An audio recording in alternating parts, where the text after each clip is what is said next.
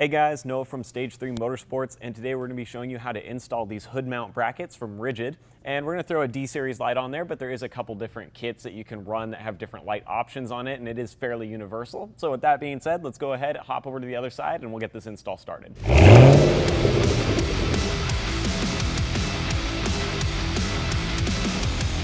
So if you're following Rigid's actual instructions for this kit, they do recommend that you take your windshield wipers off as well as the entire cowl to get access to the bolt that you need. You can do that, although I think with just loosening the clips up, you still get enough space that you can mount this without having to remove everything, so that's how we're gonna do it. And what you'll wanna do is just take a little screwdriver or a pry tool and pop these clips on the front of your cowl, and there'll be three on the front for each side. We'll loosen those up. Then there's one more clip kind of hidden back in here. You just want to pop upwards as well. And so now that's going to give us some flex in the plastic and the bolt we need to get to is just right underneath here. Now we're going to take our 10 millimeter socket with an extension on our ratchet and we're going to go ahead and just back this off.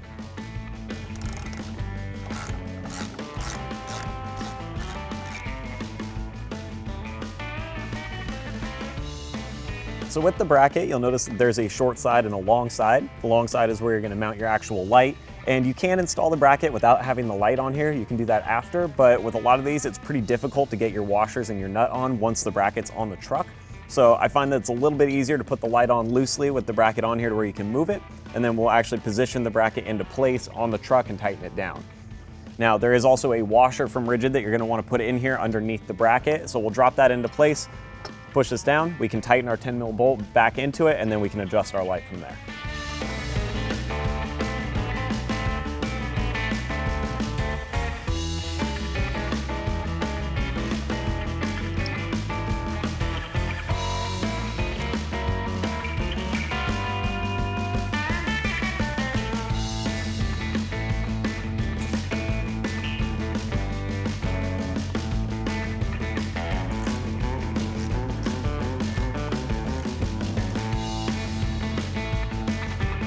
So now that we've got that 10 mil tightened down, the only thing you wanna make sure of is as you're tightening that, you're working this bracket to where it's nice and close to the body line and it's not spaced in. Then from here, we can go ahead and kind of push this rubber seal back down. We'll pull our little towel back out of the way.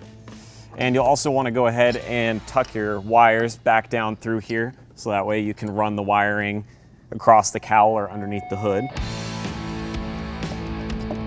There we go. Out of the way.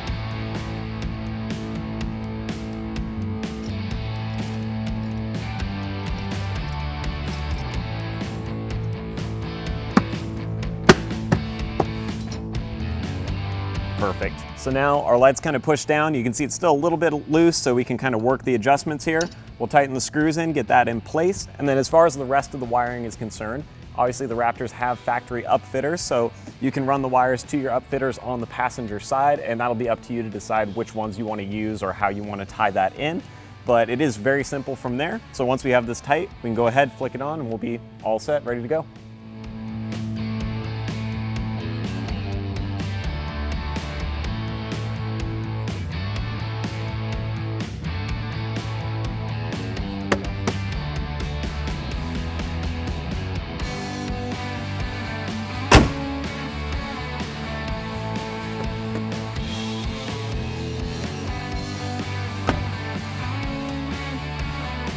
All right, guys, so that's a wrap on our rigid pillar install here, and it looks like everything works perfect. We're super happy with the end result.